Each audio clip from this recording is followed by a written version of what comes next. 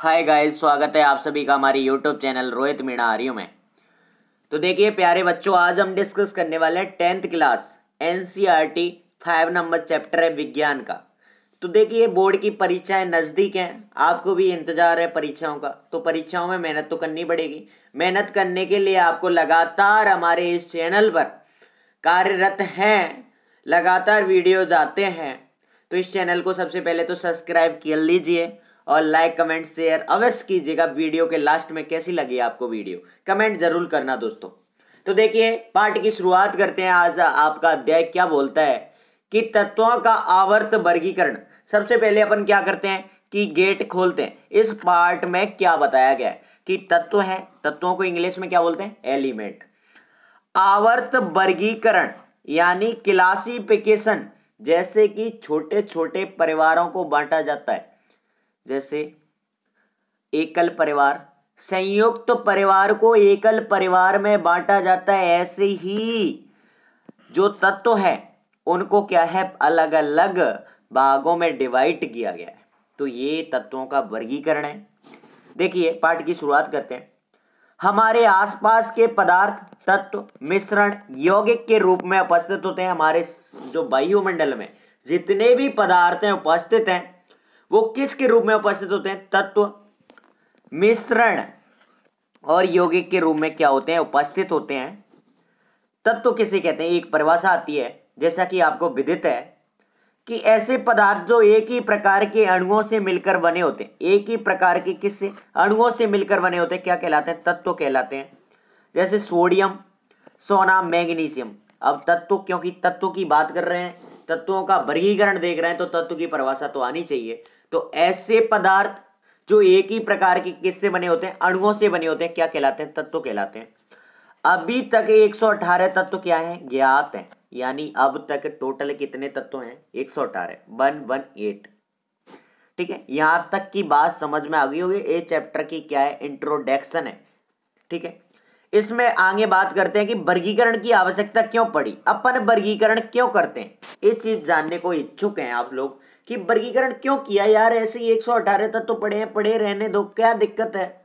तो आप समझ सकते हैं कि एक संयुक्त तो परिवार में, एक संयुक्त तो परिवार में इतने ज़्यादा लोग इकट्ठे रहते हैं तो उनमें काव के बंटवारा नहीं होता काम का। काम करने का तरीका सही नहीं होता, उनको खाने के लिए सामान नहीं मिल पाता, उनको समझने के लिए। जैसे कि एक घर में कोई आ, एक व्यक्ति का जानकार आया है सब लोग होट पड़ेंगे किसका जानकार आया तो इस समस्याओं का छुटकारा पाने के लिए परिवारों का वर्गीकरण होता है और इसी प्रकार तत्वों का वर्गीकरण किया गया है। तो देखिए तत्वों की वर्गीकरण की आवश्यकता क्यों पड़ी? ये इंपोर्टेंट है थोड़ा सा इसको याद कीजिएगा दोस्तों। तत्वों को सुव्यवस्थित ढंग से पढ़ने के लिए उनके अध्ययन को आसान बनाने के लिए क्या करते हैं? वर्गीकरण करते हैं। जैसे कि आपकी बुक्स होती हैं, उन बुक्स को जो छोटे छोटे अध्यायों में बांटा जाता है, जिससे एक क्या बनती है, बुक बनती है। क्यों बांटा जाता है? क्योंकि आसान हो जाए पढ़ना छोटे छोटे चैप्टर हो जाए। समझ में आया ना? तो इसमें वर्गीकरण में सबसे पहले जो वर्गीकरण किया, वो आपके किस वैज्ञानिक के द्वारा किया गया था? डॉवे रायनर ने। उसने कौन सा सिद्धांत दिया था? त्रिक सिद्धांत दिया था, जिस सिद्धांत के अनुसार क्या है? कि डॉवे रायनर ने समान गुणधर्म वाले तत्वों को एक समूह में सर्वप्रथम व्यवस्थित किया, सबसे पहले व्यवस्थित किया। परमाणु भार के अणुभार क्रम में लगाया। तीन तत्वों के क्या प्राप्त हुए? समूह प्राप्त हुए। उन्हें क्या कहा? उन्होंने त्रिक। का त्रिक के मध्य तत्व का परमाणु भाग अन्य तत्वों के परमाणु भार के क्या होता है? माध्य होता है, यानी औसत होता है। तो इन्होंने बताया था कि जैसे तत्वों को परमाणु भार के बढ़ते हुए क्रम में रखेंगे तो पहले तत्व जैसे एक, दो एक, दो और तीन, ये तीन तत्व हैं। तो इसमें इन्होंने बताया कि पहले और तीसरे तत्व का जो औसत, बीच वाले तत्व के औसत के परमाणु भार के क्या होता है? बराबर होता है। तो ये डॉवेराइनर का त्रिक सिद्धांत था। इन्होंने उदाहरण दिए थे, जैसे कैल्शियम स्ट्रॉन्सियम, बेरियम, ये इनके प्रतीक हैं। इनका परमाणु भार देख सकते हैं। कैल्शियम का forty one, forty point one, strontium का 87.6 और बेरियम का 137.3 यानी 137 आगे बात करते हैं इसकी कमियाँ, क्योंकि ये सिद्धांत क्यों फेल हो गया? इसकी कमी क्या है? सीमाएँ क्या है? सीमाओं का मतलब इसकी कमियाँ क्या है? ये सिद्धांत सक्सेस क्यों नहीं हुआ? तो उस समय तक ज्ञात तत्वों के केवल कितने त्रिक बना सका? डॉवे राइनर केवल तीन तरह की ही बना सका। इसलिए ये इसकी सीमा है, यानी ज़्यादा तत्वों के त्रिक नहीं बन पाए। यानी पहले जो तत्व और तीसरे तत्व के औसत का मेल दूसरे वाले मेल से नहीं खा पाए। केवल तीन में ही मेल खा रहे थे। तो वो तीन कौन कौन से हैं? Lithium calcium chlorine sodium strontium barium potassium beryllium और आयोडीन ये तीन तरीके हैं, इनको याद करना है आपको। अब इसके बाद एक अलग साइंटिस्ट आया और उसका नाम है न्यूलैंड्स, यानी दूसरे नंबर पे इसने भी प्रैक्टिस की।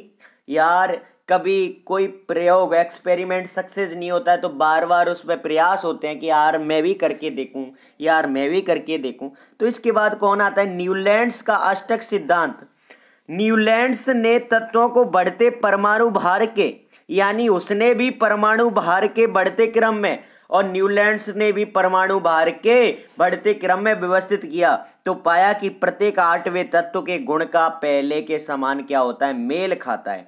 यानी जैसे एक, दो, तीन, चार, पाँच, छ, सात, आठ।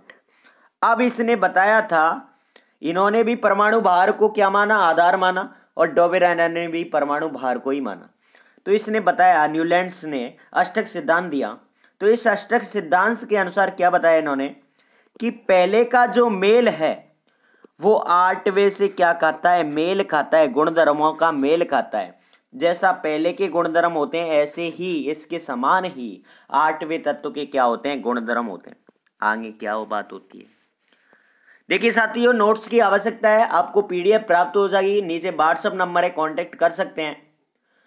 तो देखिए, आगे इसकी तुलना, जो न्यूलैंड्स का अष्टक नियम है, इसकी तुलना संगीत के अष्टक से की गई है।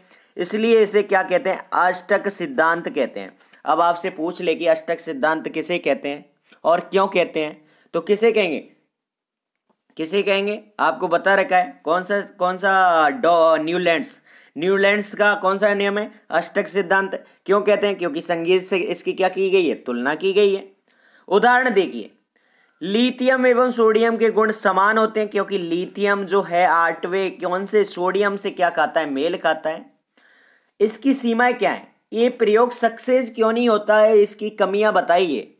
तो इसकी कमी है या केवल कैल्शियम धातु यानी हल्के तत्वों पर क्या हुआ? लागू होता है। कौन सा प्रयोग? न्यूलैंड्स का, अष्टक नियम। ठीक है? और उस समय न्यूलैंड्स के समय कितने तत्व विद्यमान थे? छप्पन तत्व ओनली छप्पन तत्व थे। और इन्होंने छप्पन तत्वों के लिए एक आवाज़ सारणी बनाई जो नीचे है। सेकंड कमी क्या थी? इनकी सेकंड कमी थी, नए तत्वों के गुण इस आवर्त सारणी से मेल नहीं खाते हैं। यानी इन्होंने बताया कि नए तत्वों के जो गुण हैं, वो नए आवर्त सारणी से मेल नहीं खाते हैं, ये इनकी कमी थी। और कमियाँ कौन ढूंढता है, कोई दूसरे लोग ढूंढते हैं उन्होंने बताया। और इसने बताया था कि प्रकृति में केवल छप्पन तत्व ही हैं। ओनली कितने तत्व हैं? छप्पन तत्व ही हैं, लेकिन बाद में कई तत्व और खोजे गए। इसने बताया केवल छप्पन ही है, इसके बाद कोई नहीं आएगा। ऐसे भविष्यवाणी कर दी इसने। अब तीसरी कमी थी सारणी में तत्वों को समंजित करने के लिए। ना केवल दो तत्वों को एक साथ रख दिया, बल्कि असमान तत्व जिनके गुणों में कोई समानता नहीं, एक स्थान पर रख दिए। देखो, जैसे कोबाल्ट और निकेल रख दिया यहाँ पर। और भी देखा जाए, आगे और देख सकते हैं। देखिए, यहाँ कैल, ए, सीजियम, लिथियम रख दिया। सीजियम और लेथियम रख दिया। लिथियम नहीं है, लुटेशियम है। ठीक है? इसके समान गुणधर्म वाले तत्वों की जगह असमान गुणधर्म वाले तत्वों को समान गुणधर्म वाले तत्वों के साथ रख दिया इन्होंने। जैसे फ्लोरीन, क्लोरीन और ब्रोमीन गैसों के साथ कोबाल्ट और निकेल धातुओं को रख दिया है इसने। आगे इसकी, इसका अष्टक नियम केवल हल्के तत्वों पर ही लागू होता है, ये भी मैंने बता दिया है। इसका अष्टक नियम बीसवें तल कैल्शियम तक ही लागू होता है, इसके बाद वाले तत्वों पर लागू नहीं होता है। इसका जो अष्टक नियम है, केवल कैल्शियम तक ही लागू होता है। यहाँ तक इसका क्या है? अष्टक नियम लागू है, इसके बाद लागू नहीं है। तो ये इसकी कमियाँ थी। कमियाँ ज़्यादातर पूछी जाती हैं तो दोस्तों याद कीजिएगा। अब इसके बाद भी एक वैज्ञानिक आया था, तीसरे नंबर पे, वो कौन सा आया था? मेंडलीप पर। यार, मेंडल मेडके से क्यों आया तू यार? मेंडलीप की आवर्त इस मेंडलीप की आवर्त क्या कहती है? एक सेकंड मेंडलीप की आवर्त इसने क्या कहा था? इसने कैसे आवर्त को बनाया था? कि तत्वों के भौतिक तथा रासायनिक गुण इनके परमाणु द्रव्यमानों के आवर्ती फलन होते हैं। आवर्ती फलन का मतलब इस समय मेंडली पाया था, उस समय कितने तत्व थे? एक बात ये भी जान लेते हैं सबसे पहले। तिरसठ तत्व मेंडलीप के समय थे। कितने? तिरसठ। और जो वो आया न्यूलैंड, उस समय कितने? छप्पन तत्व। ठीक है? अब मेंडलीप की आवाज़ सारणी के अनुसार तत्वों को उनके परमाणु द्रव्यमान के बढ़ते क्रम में रखा जाता है। लेकिन मेंडलीप ने कभी कभी तत्वों को उनके भौतिक और रासायनिक गुणों के आधार पर कम द्रव्यमान वाले तत्वों को, ये तो देखो छोड़ो, इसी को बात करते हैं, यानी आवर्ती फलन होते हैं। ये इनकी बात विशेष थी। आगे देखो मेंडलीप की आवर्त सारणी तत्वों के रासायनिक गुणधर्मों पर आधारित है। तत्वों के कौन से केमिकल प्रॉपर्टीज़ यानी रासायनिक गुणधर्मों पर आधारित है।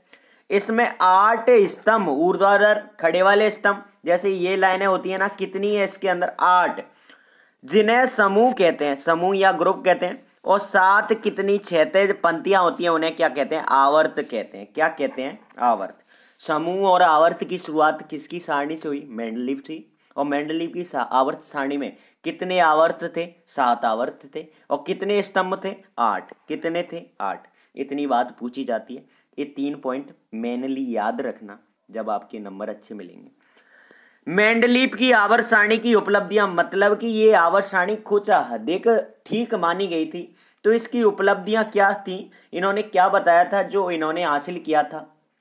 तो देखिए, अज्ञात तत्वों के लिए इसने क्या किया था? रिक्त स्थान छोड़े थे।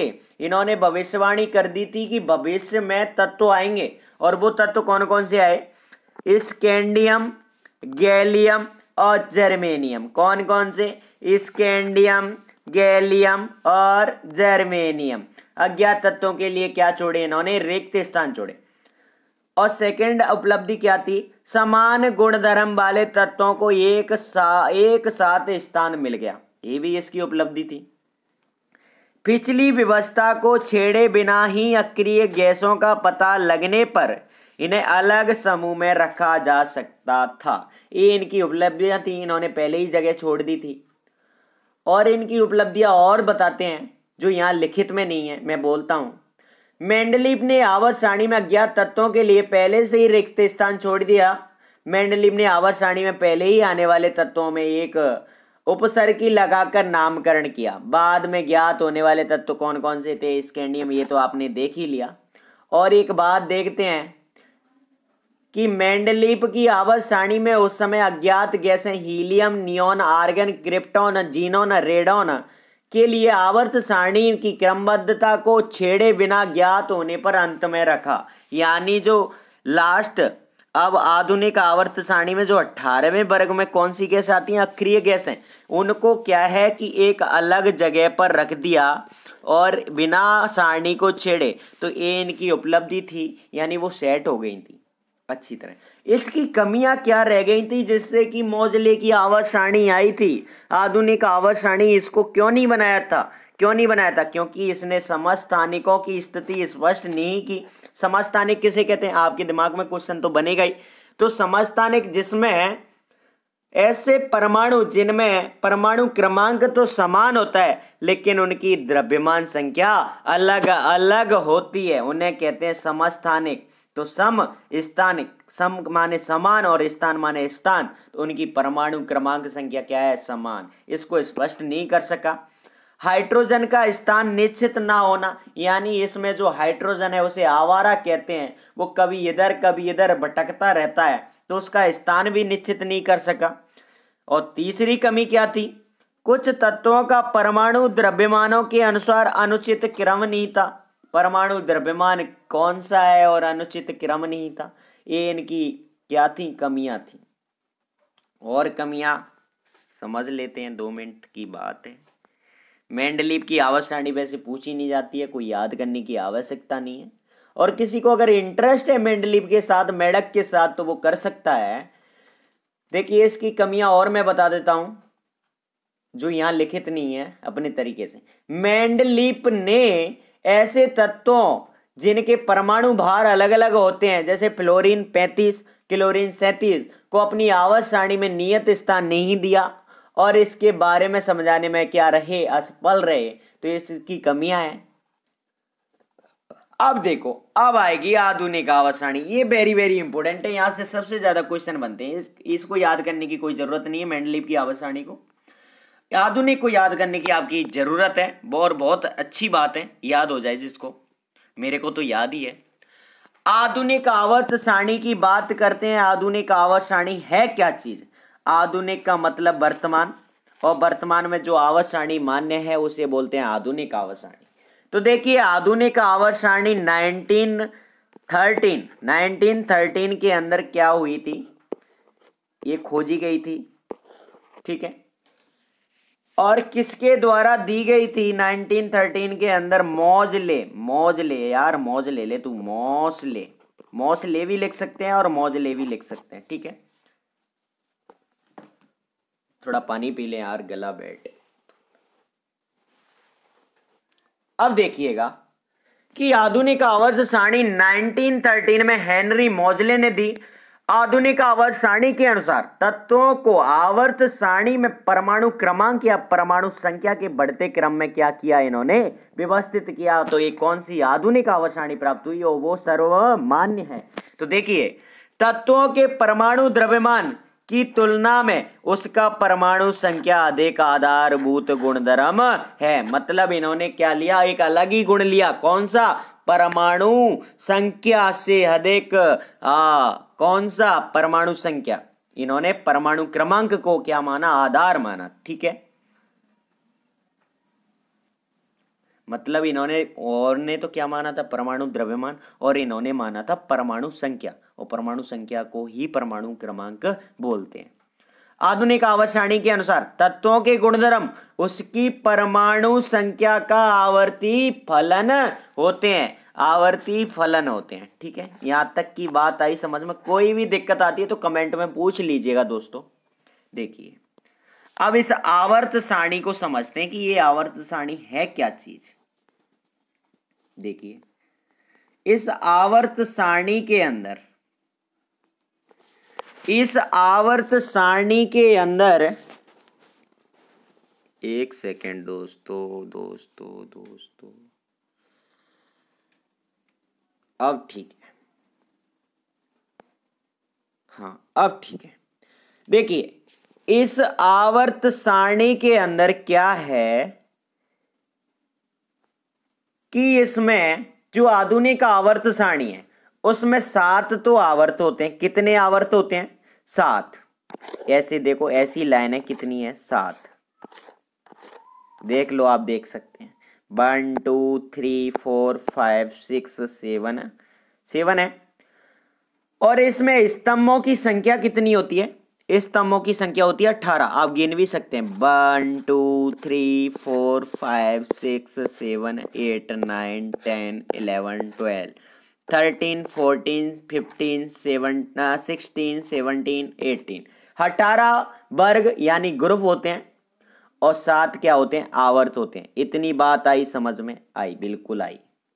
अब देखिए, ये जो तत्व हैं, एलिमेंट हैं, इनका वर्गीकरण किया मौजले ने। तो इस मौजले ने क्या बताया था? यार, क्यों परेशान कर रहा है तू? इतना परेशान ना करा करो। इतना तो कोई छोरी भी परेशान नहीं करती। देखिए एक सेकंड यार, घूम जा रहे यार। मैंने क्या बिगाड़ा तेरा?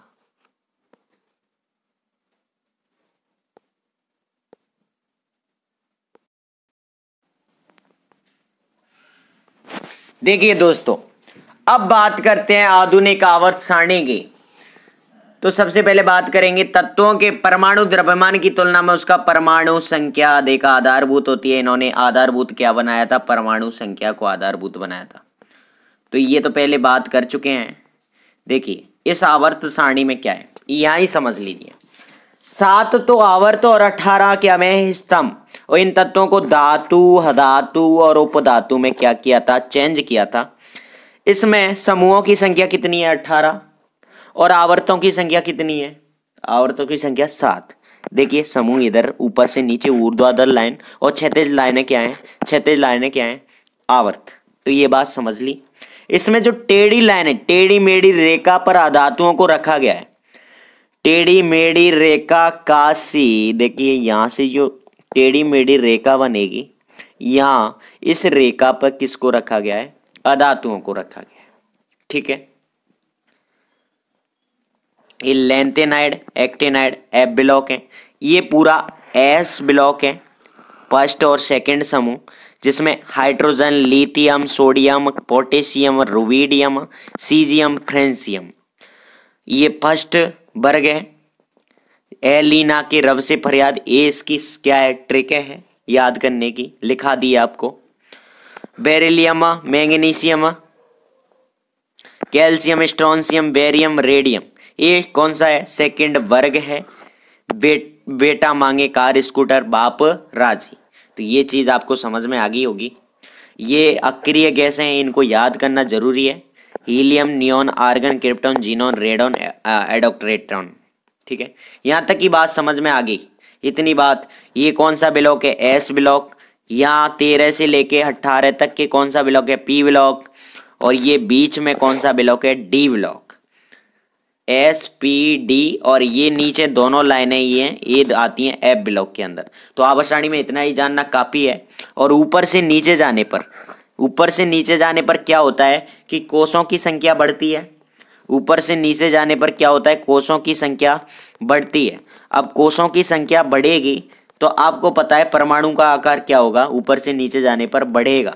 परमाणु का आकार ऊपर से नीचे जाने पर बढ़ेगा। ठीक है? और अगर दाएँ से बाएँ जाने पर कोषों की संख्या कम मतलब बढ़ती नहीं है, वही बनी रहती है, लेकिन इलेक्ट्रॉनों की संख्या बढ़ती है तो जो नाविक का आकर्षण बल है, वो बढ़ जाता है। नाविक का आकर्षण बल क्या होता है? बढ़ जाता है, बढ़ जाने के कारण इधर जाने पर, यानी आवर्त में बाएँ से दाएँ जाने पर क्या होता है? परमाणु का आकार घटता है। ये चीज़ें आपने समझ ली। आगे देखते हैं, आगे क्या है, ठीक है?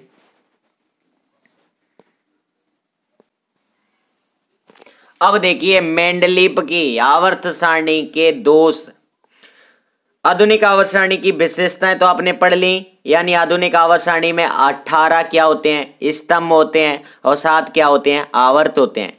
कोषों की संख्या ऊपर से नीचे जाने पर बढ़ती है। ये सारी चीज़ें मैंने अभी बता दी थी। आधुनिक आवर्त सारणी के अनुसार कोष में इलेक्ट्रॉन टू एन स्क्वायर से भरे जाते हैं। ये भी चीज़ मैंने आपको बता दी है पहले। ठीक है? टू एन स्क्वायर के। आधुनिक आवर्त सारणी में एक आवर्त में बाएँ से दाएँ जाने पर इलेक्ट्रॉनों की संख्या में क्या होती है? वृद्धि होती है, जबकि कोषों की संख्या कोषों में वृद्धि नहीं होती। ये भी चीज़ मैंने अभी बता दी है। तो आधुनिक आवर्त सारणी के दोष देखेंगे। आधुनिक दोष क्या है? आवर्त सारणी द्वारा दूर हो गए। यानी जो मेंडलिक की आवर्त सारणी के जो जो दोष है, यानी उसकी कमियाँ वो आधुनिक आवर्त सारणी ने कैसे पूरी की? क्या पूरी की? क्या है? जान लीजिए, धीरे से। समस्थानिकों की स्थिति क्या हो गई? स्पष्ट हो गई। यानी समस्थानिक किसे कहते हैं? समान परमाणु संख्या वाले तत्व एक स्थान पर, एक समान समूह में रखा गया। ठीक है? कोवाल्ट जिसकी संख्या कितनी है? सत्ताईस। वह निकिल, परमाणु संख्या कितनी है? अट्ठाईस से पहले आएगा। ये चीज़ इसकी क्या है? सेट हो गई थी। यानी मेंडली की आवर की जो कमियाँ हैं, वो इसने क्या कर दी थी? पूरी कर दी थी। तो सक्सेस तो होना ही है यार। दूसरे की कमी दबा देंगे तो आप उठेंगे ऊपर ही। एक्चुअली नॉर्मल सी बात है। परमाणु संख्या सदैव पूर्ण संख्या होती है, अतः हाइड्रोजन व हीलियम के बीच कोई तत्व नहीं आएगा। ये चीज़ें इन्होंने क्या है मेंडलिप की आवासारणी की जो कमियाँ आई दबा दी इन तीनों बातों से। अब देखिए, परमाणु संख्या क्या होती है? ये परिभाषा है इंपोर्टेंट परिभाषा बनती है कि परमाणु संख्या क्या होती है। परमाणु संख्या को जेड से निरूपित इसका प्रतीक क्या है? जेड।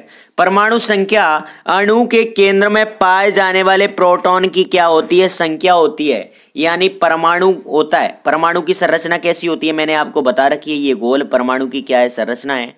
इस परमाणु की संरचना के अंदर इलेक्ट्रॉन किसके केंद्रक के चारों ओर क्या लगाते हैं? चक्कर लगाते हैं। और इन इलेक्ट्रॉनों, इस केंद्रक में क्या है? प्रोटॉन, न्यूट्रॉन और प्रोटॉन, न्यूट्रॉन। ठीक है? इन प्रोटॉन, इसमें जो प्रोटोनों की संख्या है, वो क्या है?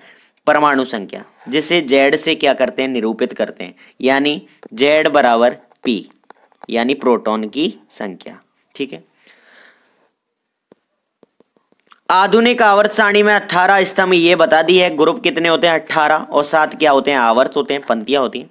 किसी भी आवर्त में पाए जाने वाले सभी तत्वों में कोषों की संख्या क्या होती है? समान होती है। किसी भी आवर्त में कोषों की संख्या समान होगी, यानी जो जो कक्षाएँ, इसके अंदर कक्षाएँ हैं, वो समान होंगी। आगे बात करते हैं। ये उदाहरण दिया है, जैसे L I lithium, beryllium, boron, carbon, nitrogen. इनमें देखिए, जो कोषों की संख्या है, वो समान है। देखिए, देखो, दो, वन, यानी दो है ना? वन, टू यहाँ दो दो, यानी देखो one two one two one two one two यानी दो ही दो है ना कोषों की संख्या। ये इलेक्ट्रॉनों की संख्या बढ़ रही है, लेकिन कोषों की संख्या तो दो ही है। दो कक्षाएँ के और एल मैंने बताया ना के एल एम एन कक्षाएँ। इन सभी तत्वों में कोषों की संख्या कितनी होती है? समान होती है। एक समूह के तत्वों में संयोजी इलेक्ट्रॉन की संख्या क्या होती है? समान होती है। एक समूह में, यानी एक वर्ग में, जितने भी इलेक्ट्रॉन है भारी कोष में, वो समान होगी। ठीक है? देखिए, जैसे कि हैलीना के तो देखिए, बाहरी कोष में एक, बाहरी कोष में एक, बाहरी कोष में एक, ये बाहरी कोष में एक इलेक्ट्रॉन की संख्या क्या है? समान है। और देखो, और क्या विशेषताएँ बता रहा है? सभी तत्वों में संयोजी इलेक्ट्रॉन की संख्या क्या है? समान है। समूह में नीचे जाने पर कोषों की संख्या बढ़ती है, ये पहले ही बता दिया मैंने। समूह का मतलब ग्रुप में नीचे जाने पर क्या है? कोषों की संख्या बढ़ेगी तो क्या होगा? परमाणु का आकार बढ़ेगा। परमाणु का आकार क्या होगा? आकार साइज़ इंक्रीज होगा। इंक्रीज होगा कि नहीं होगा? बिल्कुल होगा। किसी विशेष आवर्त में पाए जाने वाले तत्वों की संख्या इस बात पर निर्भर करती है कि किस प्रकार इलेक्ट्रॉन विभिन्न कोषों में भरे जाते हैं। किसी विशेष आवर्त में पाए जाने वाले तत्वों की संख्या इस बात पर निर्भर करती है कि किस प्रकार इलेक्ट्रॉन विभिन्न कोषों में भरे जाते हैं। ये बात आई समझ में? विभिन्न कोषों में भरे जाने वाले इलेक्ट्रॉनों की संख्या के आधार पर आवर्त में तत्वों की संख्या बता सकते हैं। बिल्कुल सही बात है। किसी कोष में इलेक्ट्रॉन की अधिकतम संख्या टू एन स्क्वायर के द्वारा निरूपित की जाती है। ये भी पहले बता दी, सारी चीज़ पहले बता दी। क्यों आपको टेंशन लेने की ज़रूरत है? के कोष, के में देखो, एन बराबर एक है तो इलेक्ट्रॉन कितने होंगे? एन एक है, एक का स्क्वायर करेंगे। दो दो तत्व प्रथम आवर्त में भरे जाएँगे। ठीक है? एल एल में दो तो यहाँ भी देखो, आठ प्रथम आवर्त में दो तत्व, बिल्कुल सही बात है। आवर्त सारणी में तत्वों की स्थिति उनकी रासायनिक क्रियाशीलता को बताती है। तत्वों की स्थिति किसको बताती है? रासायनिक केमिकल रिएक्टिविटी को बताती है। संयोजकता इलेक्ट्रॉनों द्वारा, तत्व द्वारा निर्मित आबंध का प्रारूप तथा संख्या निर्धारित होती है। ये भी चीज़ आपकी समझ में आ गई होगी। अब आधुनिक आवर्त सारणी की प्रवृत्ति देखेंगे, क्या विशेषताएँ ठीक है? प्रवृत्ति देखेंगे। ये इंपोर्टेंट है, बिल्कुल इंपोर्टेंट टॉपिक है पूरा क्या पूरा। और यहाँ से सबसे ज़्यादा क्वेश्चन बनेंगे। तो देखिए, आधुनिक आवर्त की प्रवृत्ति देखेंगे। परमाणु के सबसे बाहरी कोष में संयोजकता की परिभाषा देखेंगे कि संयोजकता किसे कहते हैं। वेरी वेरी इंपोर्टेंट है। कई बार रिपीट होती है। क्वेश्चनों में बोर्ड के एग्ज़ाम में बहुत इंपोर्टेंट है। परमाणु के सबसे बाहरी कोष में उपस्थित इलेक्ट्रॉनों की संख्या क्या कहलाती है? संयोजकता कहलाती है। यानी परमाणु की जो कक्षाएँ होती हैं, उन कक्षाओं के बाहरी जो इलेक्ट्रॉन होते हैं, जितने बाहरी कोष में, बाहर की जो कक्षा में जितने इलेक्ट्रॉन होंगे, उस इलेक्ट्रॉन को संयोजकता कहते हैं। समूह में ऊपर से नीचे जाने पर संयोजकता समान रहती है परंतु आवर्त में बाएँ से दाएँ जाने पर एक से चार तक बढ़ती है, इसके बाद घटकर ज़ीरो हो जाती है। यानी ऊपर से नीचे जाने पर जो वर्ग होते हैं, उनमें तो संयोजकता क्या और होती है? बराबर होती है। लेकिन बाव से दाएँ जाने पर क्या है? संख्या बढ़ती है। क्यों? क्योंकि इलेक्ट्रॉनों की संख्या बढ़ेगी। कोषों की संख्या तो नहीं बढ़ रही। इलेक्ट्रॉनों की संख्या बढ़ेगी। वो संख्या बढ़ने के साथ कोषों में बाहरी कोष में इलेक्ट्रॉन की संख्या बढ़ेगी तो जिससे क्या है? संयोजकता भी बढ़ती है। आगे देखिए, तीसरा आवर्त। तीसरा संयोजकता देखिए, सोडियम एन प्लस लिखते हैं, नहीं लिखते, बिल्कुल लिखते हैं तो संयोजकता एक है। एम की देखो एम प्लस टू होता है ना तो यहाँ एम की संयोजकता दो है। ए की कितनी होती है? ए एल थ्री पॉजिटिव होता है तो यहाँ ए एल की संयोजकता तीन है। एस आई की कितनी होती है? चार है। पी की कितनी है? तीन है। एस की कितनी है? दो है। और सी एल की कितनी है? एक है। और ए की कितनी है? ज़ीरो है। यहाँ तक बात आई समझ में? संयोजकता इंपोर्टेंट टॉपिक है। याद कर लेना, बिल्कुल रट लेना सर अब आता है आपके पास परमाणु साइज़ यानी परमाणु आकार क्या चीज़ होती है? इसको जान लेते हैं। परमाणु साइज़ से परमाणु की त्रिज्या का पता चलता है। त्रिज्या तुम जानते हैं? एक व्रत होता है। व्रत के जो ब्यास का आधा क्या होती है? त्रिज्या होती है। यहाँ ब्यास है। ये पूरा ब्यास है। और इसका आधा क्या हो गई? त्रिज्या हो गई। त्रिज्या को आर से व्यक्त करते हैं। रेडियस एक परमाणु के केंद्र से बाह्यतम कोश की दूरी क्या कहलाती है? परमाणु साइज़ कहलाती है। यानी एक परमाणु है आपके पास और परमाणु की संरचना मैंने बता दी है, कक्षाओं में कौन चक्कर लगाते हैं? इलेक्ट्रॉन तो इस केंद्रक से बाहरी कोष की दूरी क्या कहलाती है? परमाणु साइज़ कहलाती है। ठीक है? परमाणु के केंद्र से बाह्यतम कोष की दूरी क्या कहलाती है? परमाणु साइज़ कहलाती है। आवर्त में बाएँ से दाएँ जाने पर परमाणु साइज़ या त्रिज्या घटती है, क्योंकि नाभिकीय आवेश की क्या होती है? वृद्धि होती है। ये चीज़ मैंने पहले ही बता दी है।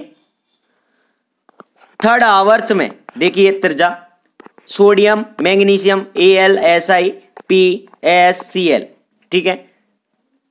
इनकी जो त्रिजा है, देखिए, बढ़ती जा रही है। एक सौ छियासी, एक सौ साठ और यहाँ घट गई है। एक सौ तैतालीस, एक सौ अट्ठारह घटती जा रही ना?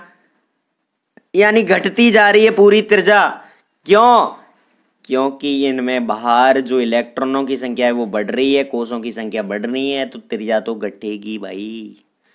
ये 90 तक पहुँच गई 104 से 90 घट रही है, बिल्कुल घट रही है।